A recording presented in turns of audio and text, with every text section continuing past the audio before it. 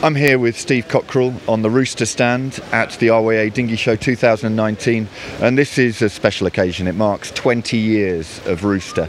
Now, Steve, it's been quite a journey.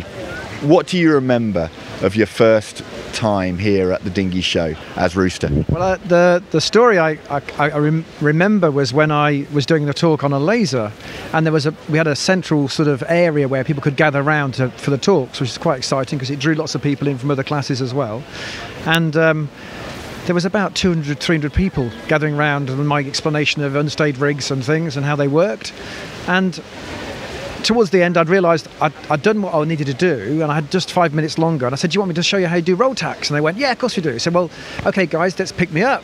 So I had the whole of the the whole of the laser in the air on a sea of hands. And I was doing roll tacks on a sea of hands and on, on, on the thing. I never saw a picture, so if anybody's got a picture of that somewhere at home of any type, I'd love to see it because I think those pictures that were out were kind of hidden very quickly due to health and safety. But it was it was perfectly safe, I thought, at the time. But that's the sort of radical things I do find myself doing sometimes when I'm coaching.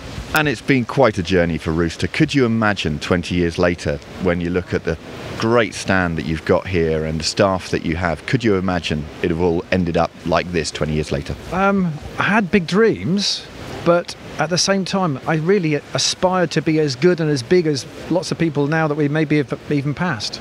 Um, but I did have huge dreams at the time and huge potential dreams of where we're going to get to.